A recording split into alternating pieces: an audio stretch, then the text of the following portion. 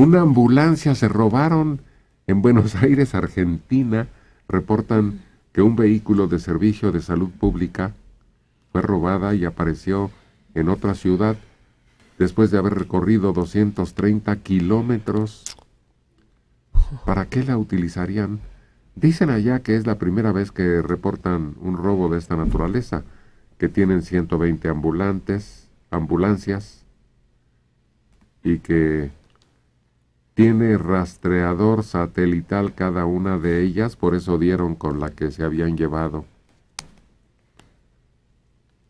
En un asalto, en un robo, si los ladrones huyen en ambulancia, pues prácticamente tienen abierto el camino. El paso libre. ¿Sería esa la idea? Tal vez o nada más para irse a algún balneario, ¿no? Quién sabe, hay algunas pistas seguras, dicen, pero es un rabo, robo que sorprende por la originalidad del, Pues sí. del hurto. Sí, porque la ambulancia es muy vistosa. Aunque quién sabe si allá en Argentina también las utilicen para pedir dinero en las esquinas. No creo que haya, como aquí, ambulantes voluntarios. Ay, no, resulta de lo más preocupante ver es que un paramédico con su casco entre los autos pidiendo ayuda y la ambulancia ahí más carcacha que nada. y sin nada adentro. No, es terrible, porque imagínate, en un momento se da un evento ahí cercano a esta, y creo que es más fácil que mueres en la ambulancia por las condiciones y por la mala preparación de estos tipos que en el mismo evento, en el mismo accidente. No, tengan mucho cuidado. Y la mugre que cubre al supuesto ambulante. No, es lo que te digo, todos transpirando ahí entre los autos con un casco todo hediondo de la Segunda Guerra Mundial, o hediondo, como se diga, recogiendo entre los autos, no, hombre, pues, ¿cómo? Pero sí serán en verdad del ERUM, porque... No, no, no, no, no, no. Son, son No, patitos. Eru, mis respetos. Ah. no, no, No, igual la respetos. Cruz Roja. Sí, no. No, estos son patitos. Tienen su pago y todo. Pero hay patitos que sí funcionan, ¿eh? ¿Ah, sí? Miren, Valle de Chalco era una ciudad sin ley. Y me consta porque yo tengo un amigo que hace una ambulancia de esas. Voluntaria, decían ellos. Y sí, nadie entraba a Valle de Chalco. Tú le hablabas a la Cruz Roja y decían, no, ni más. Porque además, si se acuerdan, no había calles pavimentadas. Pues no entraban. Y estos sí entraban. Por lo menos entraban. Ya, ya las técnicas que utilizaban para, por ejemplo, saber si alguien estaba muerto o herido, bueno, pues son muy pedestres. Pero su intención, por lo menos ahí funcionaba.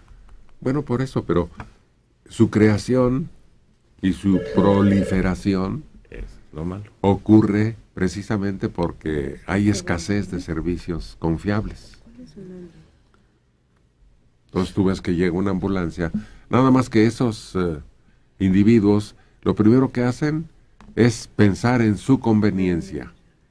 Y al dar aviso a la familia o al lugar donde trabaja el, el paciente, primero que nada piden la recompensa adecuada. Marcos Hipólito debe tener una buena opinión que dar. Fíjate que en la actualidad esas ambulancias patito muchas veces llevan al paciente, al herido, a un hospital particular porque saben que les van a dar una compensación, una gratificación por cada paciente que llevan. Entonces le complican la existencia a la familia porque a veces no tienen los recursos y de entrada les dan tres mil pesos por paciente. Entonces imagínate cuánto le van a cobrar después. Y aparte de que algunos ni siquiera están preparados adecuadamente para la atención prehospitalaria de, de un lesionado en la calle. Pero mucho se ha hablado de que los van a, regu- a regular aquí en la Ciudad de México y no se ha hecho. Ahí andan en la calle, todavía está boteando, que dizque pidiendo una cooperación porque ellos atienden urgencias, pero realmente está, está todo muy mal con esos grupos. Atienden las urgencias de su casa con el dinero que colecta. No, no, terrible. Cuánta miseria hay en nuestro país. Hay buitres en los puntos adecuados, porque también te ofrecen, en caso necesario, ya que localizas tu cuerpecito, tu, tu muertito y te llevan, te obligan casi a que el servicio te lo dé alguien a quien ellos contactan, pero mediante una cuota extra. Sí, las agencias funerarias también Sí, también están en ese negocio. lo mismo. Es que es un negocio, la muerte es un gran negocio. Y el problema que, que estos cuates llevan a los particulares es que también muchas organizaciones no reciben a los heridos. Llegan con el baleado, no, Magdalena de las Salinas no lo recibe, llévenlo a Joco. No, Joco no lo recibe, llévenlo a no sé qué. Y a veces andan peregrinando con el herido en la ambulancia. Ese sí es contra los derechos humanos. sí. Claro, pero les niegan el servicio. La parturienta, da luz en la calle. Sí. Hay muchos casos así. Entonces no hay nada normado en este país. Bueno, Todo hay muchas irregularidades que son chipotes que el gobierno no, no toma en cuenta por la importancia que tienen, deberían estar sujetos a reglamento. Pero no es la norma. Evidentemente la Cruz Roja, y los organismos de, ayuda en caso de necesidad, pues funcionan, ¿no? En casi todas las entidades.